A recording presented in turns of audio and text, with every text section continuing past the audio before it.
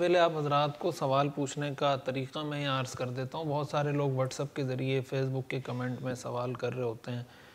तो सवाल पूछने का तरीक़ा ये है कि हमारा जो यूट्यूब पे ऑफिशियल चैनल है, मुफ्ती रशीद ऑफिशियल के नाम से, उसकी किसी भी वीडियो में जाके कमेंट में आप अपना सवाल लिखते हैं इन हमारे जो साथी हैं एडमिन टीम के, वो वहाँ से सवाल नोट करके दे देते हैं। ये सारे सवाल का प्रिंट आ जाता है तो फिर उसको बयान करना भी आसान होता है और एक ही दफ़ा उसके लिए वक्त निकाल लिया जाता है और एक साथ सारे सवाल बता दिए जाते हैं। मुख्तलिफ़ मौक़े पर मुख्तलिफ़ लोगों को जवाब देना बहुत ज़्यादा ज़ाहिर है कि मुश्किल होता है कि तो उसी वक्त हो सकता है जब आदमी इसी काम के लिए अपने आप को फ़ारग कर दे कि जब व्हाट्सअप पे मैसेज आया तो उसी का जवाब दे दे, उसका जवाब दे दिया जाए फेसबुक पे आया तो उसका दे दे यूट्यूब पर आया तो उसका दे दे। इसलिए हमने एक प्रॉपर एक तरीक़ाकार मुतन कर दिया है।